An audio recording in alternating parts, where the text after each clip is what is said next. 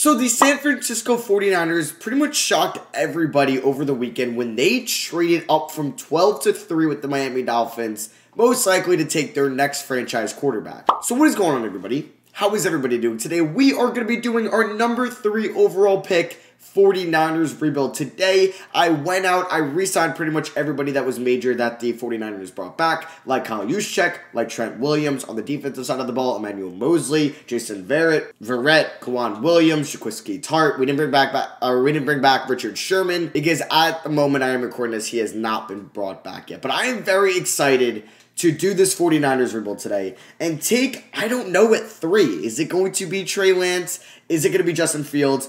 I won't personally be taking Mac Jones. I just don't see the Niners trading up all the way to three to take Mac Jones. I just don't see it. I feel like they would have traded up to, I don't know, six instead um, and not have to give up three first round picks, just maybe two to do that. And I think he would have been there at six. But either way, massive trade by the San Francisco 49ers to move all the way up to three. It's going to be a quarterback. Nobody really is for sure if it's going to be Lance or Field. Some people do think it could be Mac Jones.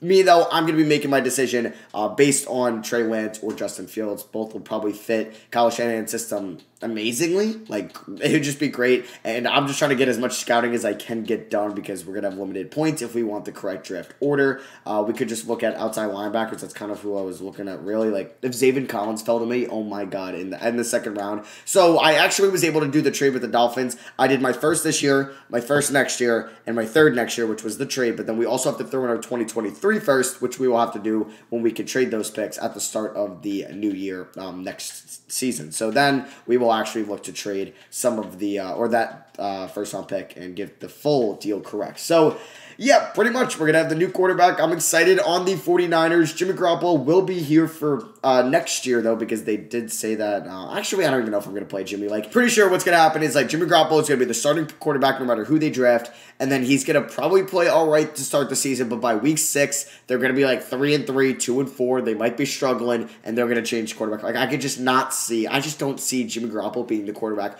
all 16 or now 17 games next year. I just do not see that happening. So, let's figure out who we're taking at three. Also curious to see where Richard Sherman signed. I'm just you know, if we end up facing him uh, throughout the year. So he ended up signing with the Indianapolis Colts. Okay. Joining another former Niner on that team in DeForest Buckner. So let's see who the Jaguars take at one.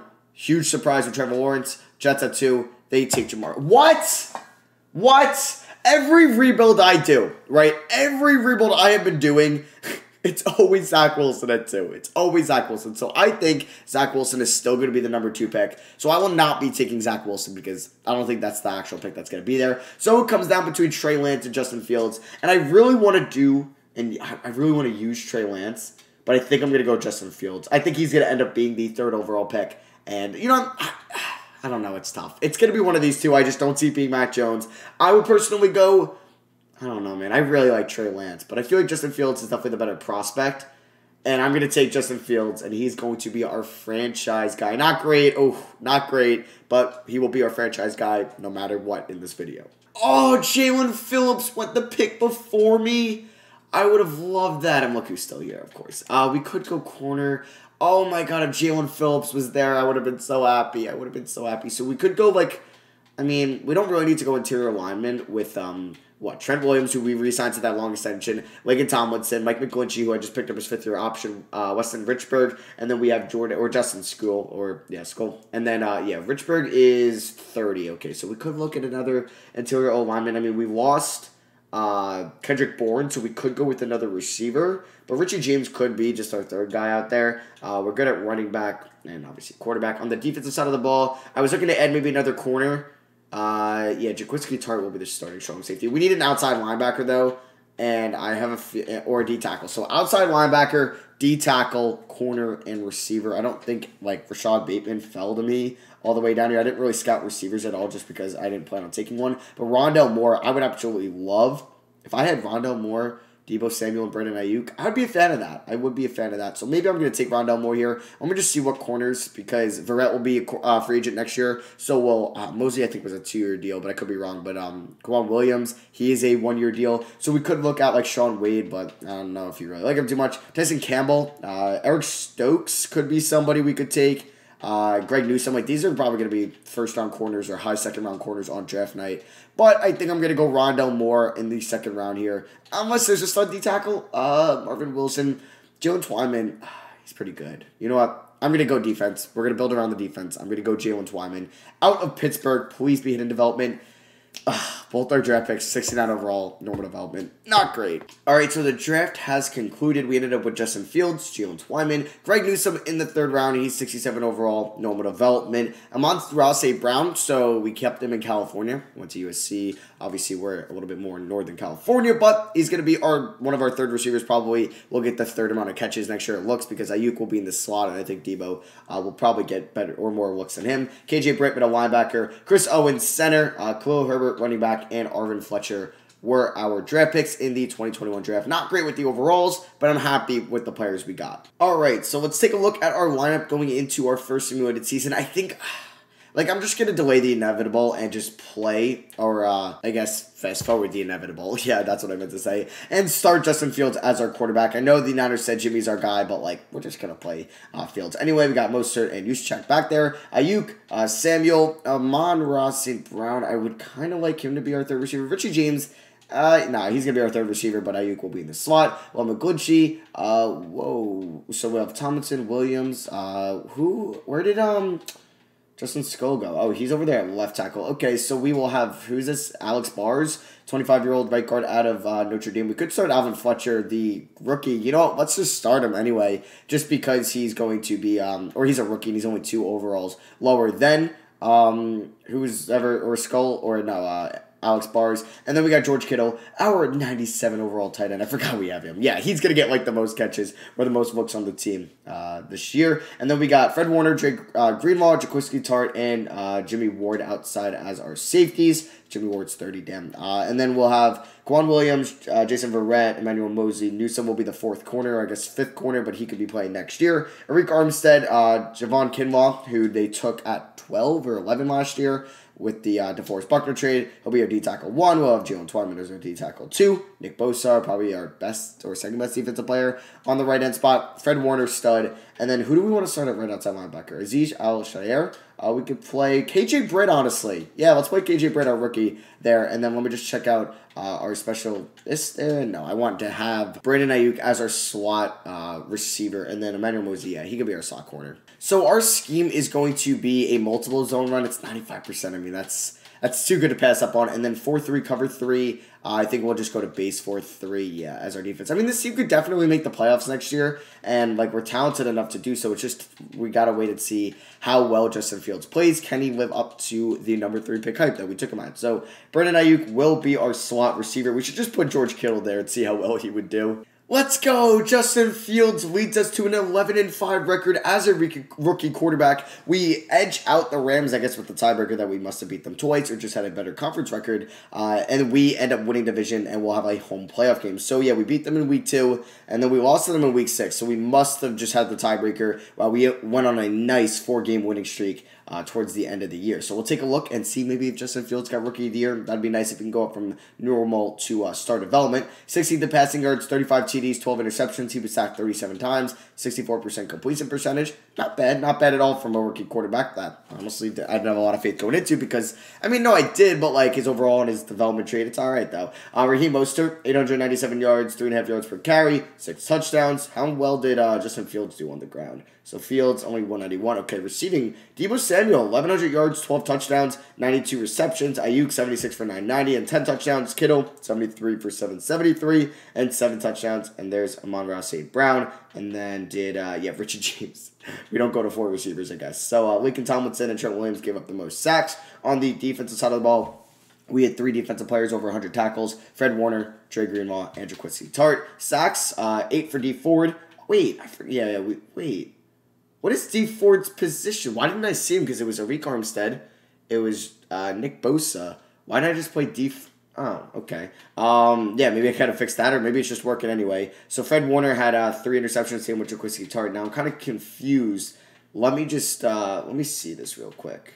So yeah, Twyman only had 19 tackles, but he was our D tackle too. Okay, I guess everybody played pretty much. Um, even if it was Arik Armstead and Dee Ford and Nick Bosa and uh, Javon Kinlaw and Jaylen Twyman. So MVP was uh, Nah, there is no. Um, uh, Trevor Lawrence was there, he's probably gonna get rookie of the year. But different conferences. I was wondering if Justin Fields would be there. So Cam Newton on the Giants won offensive player of the year. I'm looking for offensive rookie of the year. Boom, Justin Fields. Let's get it. That is what I'm talking about. And did we get maybe defensive rookie of the year? No, we did not. Uh, Twyman wasn't even there in the uh, top ten. All right, so we have a home playoff game against the ten and six Dallas Cowboys. Can we beat them? And Justin Fields in his first playoff game. He unfortunately can't, as we lose 31 to 28. That hurts. I would have loved a division or that uh, playoff win. So we'll just take a look at the box score and see what happened. Dak had a great game, but so did Fields.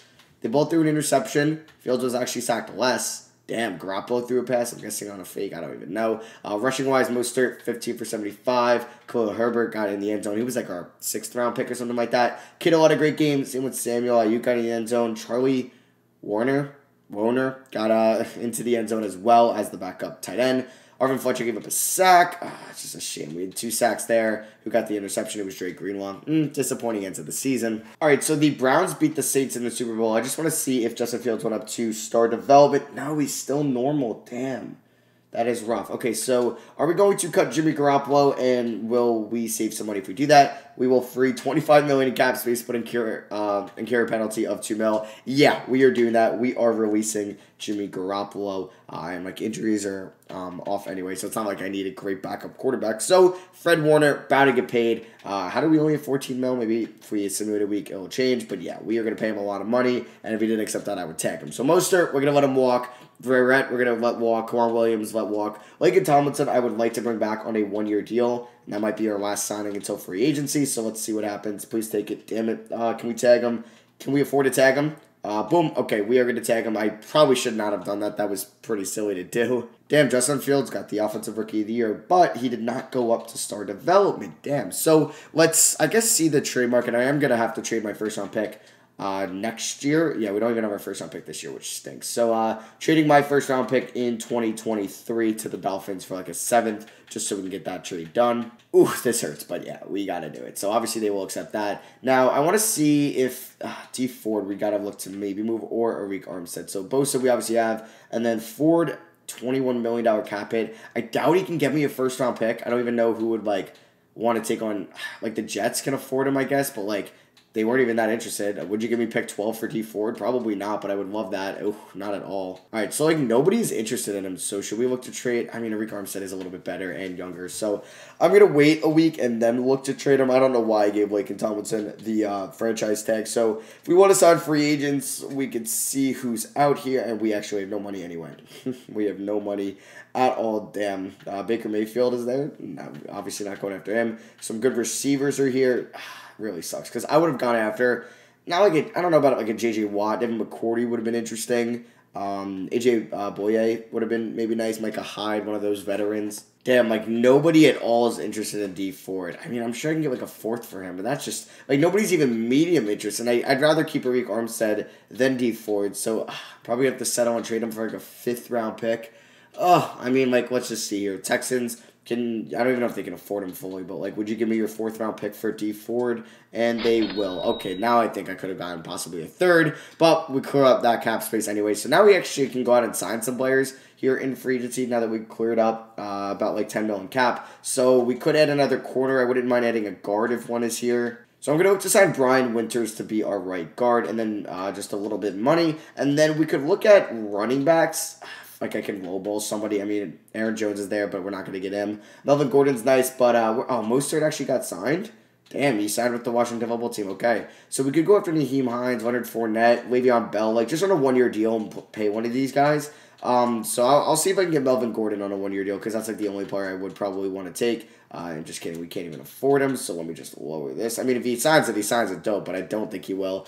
24 points, usually that never happens, but I guess we'll wait and see. So, in the last day of free agency, we don't get Melvin Gordon, or we didn't even get Alex Cappa either. Or no, Brian Winters we went after. So, it is draft time. All right, so we don't have our first round pick this year because of the Justin Fields trade. So, I just want to take a look at our depth chart before I make my selection here at, geez, second, uh, 24 in the second round. Uh, let's see who we have scouted out here. We could go outside linebacker, definitely. That was one of our holes last year. And we don't have our third. Yes, oh, we don't have our third. Okay, so yeah, this is a little bit rough. Like we could go. I mean, Khalil Herbert could be our running back. I mean, I, I want another receiver possibly, but Amon-Ra St. Brown could just be there. I mean, I wanted a guard as well, but we could use another outside linebacker. We're good with every other. I mean, we have uh, Boddy Calhoun, Manuel Mosley, and then we're gonna ha- or Moselli. Moseley. Have I been saying Mosley? I, apologize. What's called Emmanuel. And then Greg Newsome. Uh, our corners are going to be pretty weak, so we could go uh, corner or outside linebacker. I mean, Jaden Hasselwood probably would be a good pick, but it's not going to happen. Ahmad Gardner, mm, we could use another corner, but Brandon Smith, I might. Oh, we could use a center as well. Oh, we don't pick against the fourth. All right. I mean, how many good corners are left after this? Uh, I mean, there's could be a bunch still left in the fourth. And then what about outside linebackers? I doubt one of these guys makes it. Uh, I don't know what to do. I don't know what to do. And then let me just check out guards, like who's still here. Uh, please tell me they scouted me some guards. They did, and they're not very good. Great. So what I'm gonna do is just take. Uh, do I take Ahmad Gardner? Or mm, I feel like I should over Brandon Smith or Mike Rose. So yeah, we're gonna take Ahmad Gardner, the slot corner out of Cincinnati, 37th entry value, hidden development, beautiful. All right, so the draft recap, we, you know we took Gardner. I ended up taking Jermaine Waller, a corner, here in the fourth round. He's super quick and he's a solid slot corner. DeAndre Square, we took in the fourth round. He's okay. Uh, Xavier Henderson here in the fifth round, just another normal development guy. And then Adam Metcalf, uh, another normal development guy, and then George Monty, another deve- or a normal development guy. So yeah, we haven't been drafting a lot of. Ahmad Gardner is actually our only hidden development draft pick in this video. It's a little rough. All right, so here is going to be our lineup for season number two. We'll have Williams, Hamilton, Richburg, Fletcher, McGlinchey as our O line. Yeah, I guess we're gonna play Alvin Fletcher again, and then we got George Kittle, Brandon Aiyuk, uh, Deebo Samuel, who's up to superstar X Factor. Okay, or a superstar development, not X Factor. And then uh, Amon-Ra St. Brown, I guess, will be our third receiver. Khalil Herbert, running back. Justin Fields, Kyle Juszczyk. I'm going to check the free agency pool and see if there's a good running back. DeAndre Square will be our starting right outside linebacker. We got Fred Warner, Dre Greenlaw, and then we got Kinlaw, Armstead, uh, Twyman, and Bosa. Moseley, uh, Boddy Calhoun, Gardner, and then like we'll Waller and uh, Newsome. Ani Boddy Calhoun will be actually the last corner there, and then we have Ward and Tartt. Not the greatest secondary in the world. Gardner, uh, mm, no, gonna play Waller as our slot corner, and then we'll have probably Aiyuk again as our slot receiver. So we made the playoffs once again. The assistant GM is congratulating us. Let's go. That's what I'm talking about. We went 10 and 6. We were actually 3 and 4 at the mid-season mark. So we did pretty good end of the year. We went 7 in uh, in 2 to end the season and we're taking on the Arizona Cardinals, another divisional team or an NFC West team in the uh, wild card weekend. Justin Fields wasn't as good as his rookie year, but he still wasn't terrible. Rushing wise, Khalil Herbert. I actually forgot to look for a running back out there. Hey, it doesn't matter. We made the playoffs. Receiving wise, Brandon Aiyuk stud as our slot receiver. Deebo Samuel gave a contract extension to, uh, and George Kittle was pretty good. Amon-Ra St. Brown, we could always look for a better receiver in the offseason. I ended up re-signing McGlinchey. Glad I did that. Uh, Deebo Samuel, Weston Richburg, Laken Tomlinson, and our punter because we have like 95 million in cap space. So we're gonna and Dre Greenlaw. So we're gonna have like 50 million dollars to spend it for agency if we don't win at all. Sack leader was Javon Kinlaw, actually. Okay. Nick Bosa with only five and a half sacks. Three picks for Warner and Jermaine Waller. Let's go. What are the odds he won Defensive Rookie of the Year? I doubt it, but I, you never know. Offensive Rookie of the Year, we would have nobody, right? Yeah, we would have nobody. Defensive Rookie of the Year, uh, yeah, so Waller was eighth. So can we beat the Cardinals and win our first playoff game of the video, or are we gonna go 0-2? Let's go. We picked the win, 31 to 20. Now we have to take on the reigning NFC champion, uh, New Orleans Saints. So we'll see how that goes. Uh, but first, we'll take a look at uh, no, that's the preseason. What am I doing? So let's take a look at this box score here. And uh, Fields was pretty good. Definitely outplayed uh, Kyler Murray. And then taking a look at the rushing game, Herbert wasn't great. You check, okay. They both got rushing touchdowns. Aiyuk baller and George Kittle baller as well. And then who got the uh, sacks on our team? Just Arik Armstead got one, and Jaquiski Tartt, who will be a free agent, got the interception. So let's see what happens here against the Saints. Can we beat them and go to the conference championship in Justin Fields' second year in the NFL? I don't know. They went 12 and 4. It's going to be tough. Even though we are home, which is nice. I'm surprised we're home. What? We beat them by 17. Let's go. We are one game away from the Super Bowl. Okay. All right, everybody relax. Everybody relax. So what am I looking for here? The divisional round. We ended up beating them by 17. Three score win. Fields goes off beats the rookie of the year, I believe, Bo Nix. Let's go. Uh, rushing wise, Kamara went off. Damn. Uh, Herbert wasn't great, but we're winning these games, so I don't care. Kittle touchdown, Samuel touchdown, and Charlie uh, Woerner got a touchdown as well. Uh, Laken Tomlinson gave up a sack, and we had a bunch of sacks of our own. Uh, Twyman, Nick Bosa, and Armstead getting it done. Interceptions. Ahmad Gardner, the rookie, getting an interception. So can we beat the Giants and go to the Super Bowl? The 9 and 7 Giants. We just beat the 12 and 4 Saints. How is this another home game? So I guess some other team in the NFC South won the division. Yeah, it was the Panthers. And they lost to the Giants. So uh yeah, let's see what happens here. Can we beat the Giants and go to the Super Bowl, please? Please, Justin Fields' a second year? Oh. Oh, wow. we got destroyed. We lost 31 to 3. Oh, they have Tom Brady. Justin Fields was horrible. Damn. Oh, God. Okay. I want to forget about that game. Damn, I thought we were going to make it to the Super Bowl. So you have the Giants versus the Browns. The Browns uh, were there last year. I don't remember if they beat the Saints or not. And let's see who wins this Super Bowl. It is the Cleveland Browns. They beat the Giants 34 to 24, and that is the season. So here are the award winners. Bo Nix ended up winning Offensive Rookie of the Year, but we ended up beating them in the playoffs. I don't know. So we'll take a look at how much Jimmy Ward and Tarter both free agents. Okay, Emmanuel uh, Moseley, Moseley, uh, Brian Boddy Calhoun. We're gonna let walk. Okay, so it's really just these three. Um, I mean, it doesn't hurt to bring them back. Worst things worse, I could like trade him if I find a better option in free agency, but I kind of don't want them to hit the free agency market. I'm definitely not going to tag him. Uh, Jaquiski Tartt we could bring back. I mean, I should have just offered Jimmy Ward a little bit more money. Uh, we bring back Tartt.